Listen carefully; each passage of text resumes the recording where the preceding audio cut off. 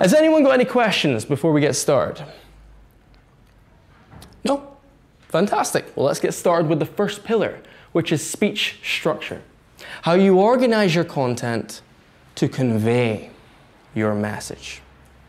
Speech structure is important, not only to make your information more easy to digest for your audience, but it'll also give you more confidence because it's a clear plan to follow. And if you have a plan to follow, you're much more likely to perform well instead of just showing up and winging it. Okay? It also often determines the quality of your speech, so do not ignore speech structure. I think the most famous speech structure of all time came from this man, Winston Churchill. Does anyone know what his philosophy on speech structure was? Anyone at all? No? Basically, what he said to do when it came to making a speech was tell them what you're going to tell them for the intro, tell them, and then tell them what you've just told them. So it's pretty simplistic, but it's actually really effective. Really effective. But you don't need me to cover that today because, you know, it's pretty simplistic. You probably get it on your own. But what I would like to do is show you two other speech structures which, if done correctly, can be even more effective than Winston's. Would you like to hear what they are? Mm-hmm. Yeah? The first one is called the movie. The movie speech structure. By a raise of hands, who here likes movie trailers or teasers? Yeah?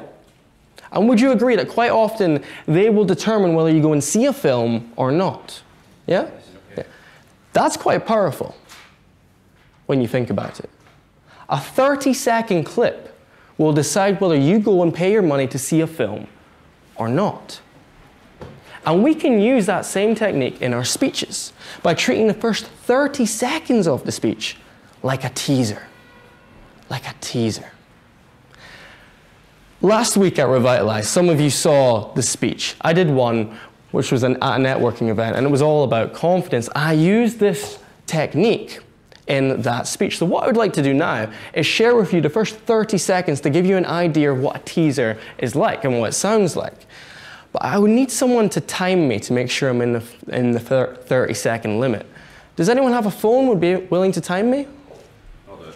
Yeah, perfect. Well, while you're getting set up, Charlie, this is the two things you should be looking for, okay? In a teaser, you need to inform the audience. You need to let them know what the speech is going to be about. What should they be prepared for? But don't give away too much information. And the second thing you need to do is hook. You need to hook your audience in some way so that they want to hear more. Are you ready, Charlie? Yeah. So when I start speaking, if you begin, that'd be great, okay?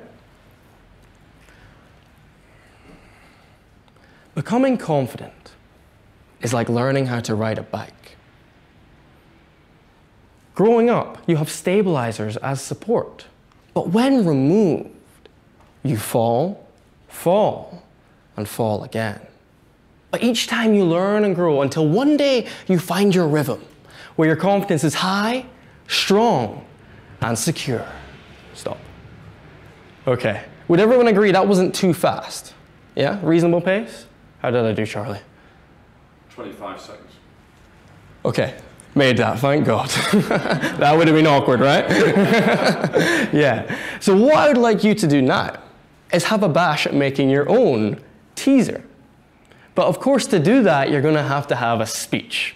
So, we're going to create one together right now. For this, I'm going to need you to find, get into partners, or threes if you like. So if you could find a partner and number yourselves number one and two, that would be brilliant. So Chris, you can move along if you like. Everyone got a partner? You good, Paul? You got one? Yeah? Super? You can just stay out there, Edward.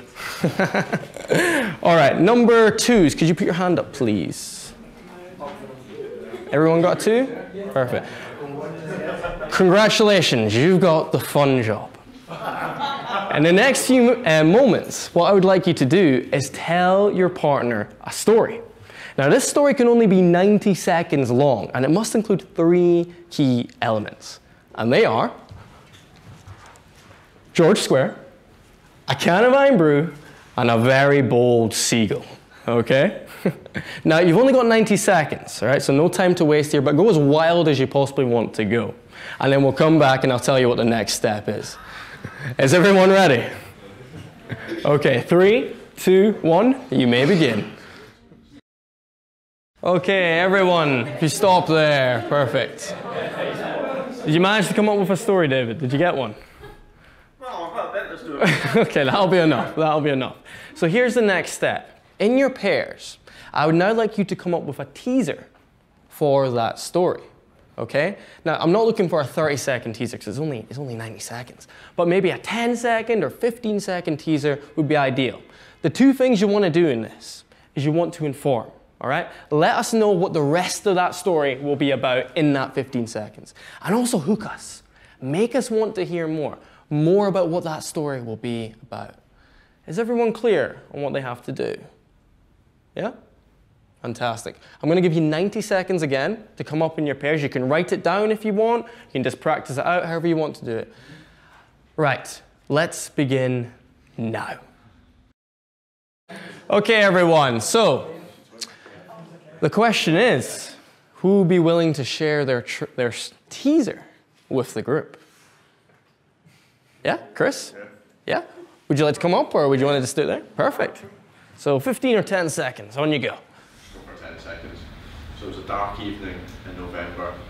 There was fizzy drinks involved, and there was a terrifying flying object. There we go. so, what do you think? Did Chris's teaser inform us? Yeah, it gave us some in context. We know it's going to be in November, it's dark, and there was a fizzy drink, right? Did it intrigue us? The fizzy drink, yeah. Very well done, Chris. Absolutely. Would anyone else like to have a go? Share? Yeah, give it a go. Yeah, come on up. Whenever you're ready, Tracy. I want to invite you to come to Glasgow to visit a famous landmark and be aware of the feathered locals and their favourite drink. Oh, there we go. That was good, wasn't it? Nice, nice. Brilliant. Feathered locals. I like that imagery. Very nice, yeah. Anyone else like a go? Yeah, Paul? Uh, did you hear about Brad Pitt and his spot who he'd done for drinking alcohol in public in Glasgow? Ooh, well, that's certainly a statement.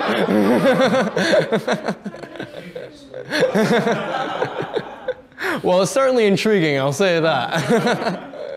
Maybe we need to work on the informative side. But that's what we need to do for the first 30 seconds. We need to inform and intrigue our audience. And you can use this whatever presentation you've got. Once you've prepared it, just think about how you can summarize that in 30 seconds to achieve those two goals. In more detail, this is what the full structure looks like. So we've got our teaser, our 30 seconds. Now we need the showing in the middle. This is where you play out whatever you've mentioned in the teaser. So if it's going to be about Brad Pitt, we need to see Brad Pitt in the middle, okay? Because be, if think about it logically, right? If you go and watch a teaser for a film, say Die Hard 6, and then you really like it, so you go to the cinema, you're in the row, you're waiting for Die Hard 6 to come on, and then SpongeBob SquarePants shows up, it's going to be pretty strange, isn't it? Not going to go down well with the critics. So you need to make sure that what is ever in your teaser aligns with your main content. And then for the la- very last bit, the ending, is a callback. This is where we refer back to the start of the speech, but also add in that take home message you want to deliver to the audience. Is that almost like a summary? It's almost like a summary, yes, David. But what we're doing is just adding in that key message at the end there. Um, so referring back to the start, but adding in the message. I'll give you the demonstration of how my speech ended, the one about confidence. So this is how it ended. Becoming confident is like learning how to ride a bike. Without doubt, you will fall. But if you can be your own savior, try, even when you're afraid, and have a vision which drives you to take action, you will find the courage to get back on that bike and find your rhythm where your confidence is high, strong, and secure. So, do you see how that had elements of the beginning? I spoke about the bike, falls, the regaining, but I also had in the message there of, you know, having that vision, being your own savior, and trying even when you're afraid. So that's what you want to look to do for the callback. Does anyone have any questions with regards to the movie speech structure? So to link it to Winston Churchill's Mhm. tell them time and time again. Mhm. It's the teaser is the time what you're going to tell them, the show is to tell them, and then the callback is to tell them what you just told them. It's similar, but with Winston Churchill's, you tell them exactly what they're going to hear. So there's no surprises to come, basically. It's more of a- Yeah, it's, it's intriguing people further, and then the showing kind of builds towards that key message at the end, which is delivered. That's the main difference between the two. Yeah. So are you saying, Kyle, that this is a more effective structure Mm-hmm. than what Winston Churchill Yeah. effectively? To do it like this, you will get far better engagement from the audience. Yeah, because what happens with Winston's, and I'll, I'll refer back to this later in the presentation, is when you're just summing up at the end, it, it seems like a, a summary for a, an essay, right? It's kind of boring because you've already heard what he's telling you. But this, you're hearing something new at the end, and it's kind of building towards that in a way at the same time. And you're not telling them exactly what they're going to hear at the start. So that brings about that intrigue. You see what I mean? Yeah? Okay. I'll move on to the second type of speech structure then, unless there's any other questions. Good. Okay. This one's called the journey. This involves taking your audience.